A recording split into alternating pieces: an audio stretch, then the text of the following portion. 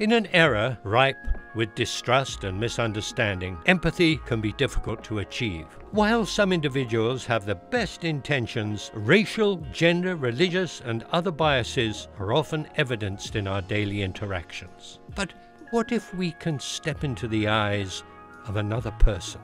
Understanding what is their lived experience, how are they engaging this world, how are they being perceived by others, and we haven't really had a good way of doing that until now. The empathy lens is really a concept and a technology for reversing years of conditioning that people might have without even realizing it. The idea of the empathy lens is to go beyond diversity training, to really give people experiences that allow them to get a sense of what other people perceive in terms of their actions. Traditional diversity training asks people to be respectful and to value the perspectives of other people. But it doesn't put them into the shoes of those other people. The research has been unequivocal that if we're going to change dispositions around issues of race and discrimination, the only way that that can truly occur, the only way we can truly address issues of bias